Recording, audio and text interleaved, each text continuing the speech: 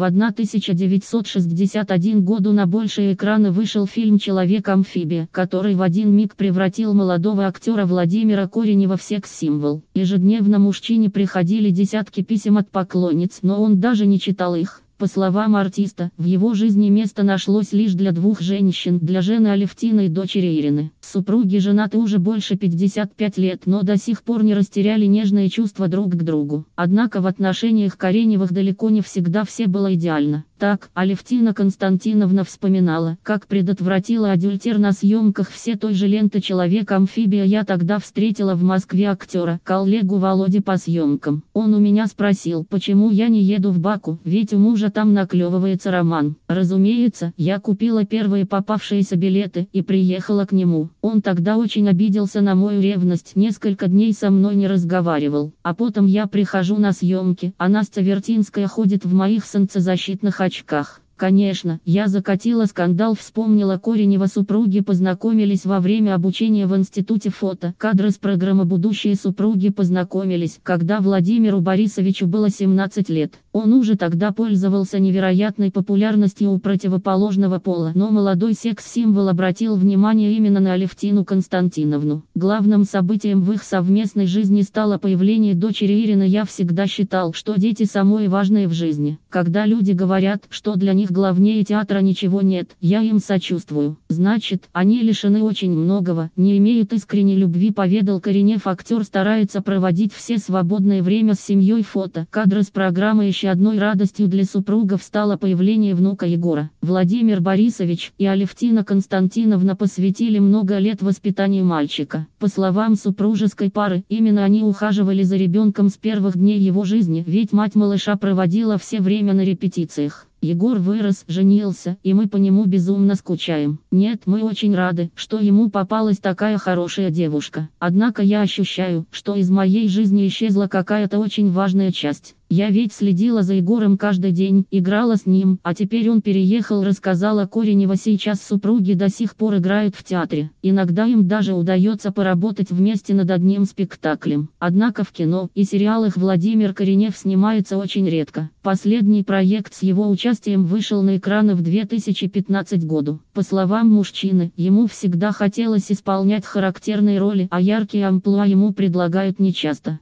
Клэс Поуст 661 682 подписчика.